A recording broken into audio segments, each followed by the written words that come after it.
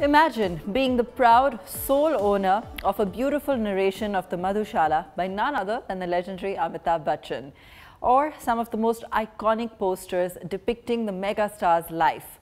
All you need to do is log into a website, buy the digital property, and be the sole owner.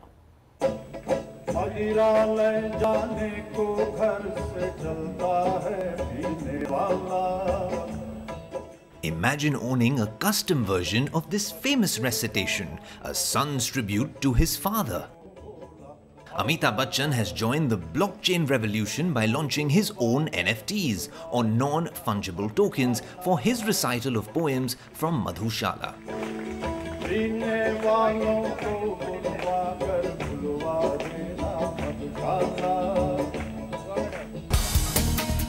Also on sale via NFTs are personally signed posters depicting the various landmarks in his cinematic career. All you need to do is access the website, register yourself and bid when the auction begins. The digital property will be yours. The ownership can be changed as and when you want. NFTs or non-fungible tokens are a phenomena that have taken the digital world by storm. Believe it or not, a 12-year-old in London has made nearly 3 crore rupees by actually creating digital images of whales and selling them as NFTs. Now, what NFTs essentially do is that they create a unique identity for a digital object and that ensures that the usage rights stay with the owner of that object. Now, using NFTs, you can verify the ownership and the authenticity of that particular object. This makes it an invaluable tool for high ticket investors.